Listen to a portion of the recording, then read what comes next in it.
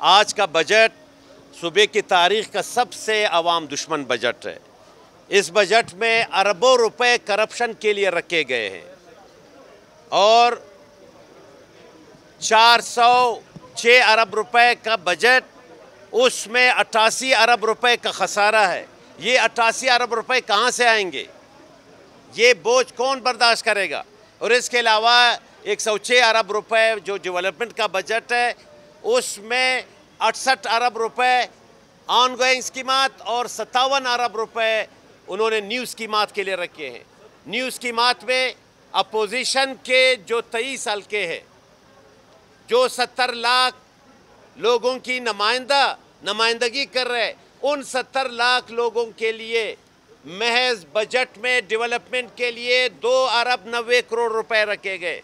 आप खुद अंदाज़ा लगाए, चौवन अरब रुपए उन्होंने रखे हैं अपने चहीतों के लिए ताकि वो करप्शन कर सके।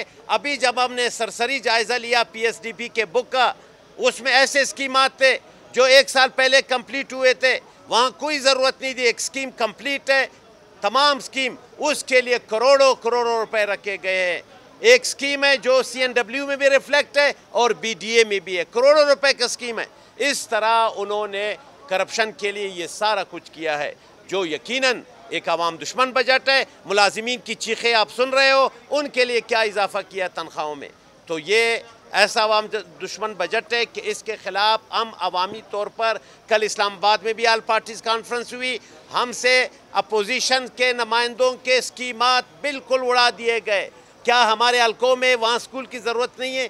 क्या हमारे हलकों में वहाँ पानी पीने के पानी की ज़रूरत नहीं है क्या हमारे यहाँ हेल्थ सेक्टर की ज़रूरत नहीं है? इन सत्तर लाख लोगों के लिए लिहाजा लिहाजा ये जो है ना ये जुल्म है हमारे आवाम के साथ। इसके लिए हम एहतजाज करेंगे। थैंक यू मेहरबानी थैंक यू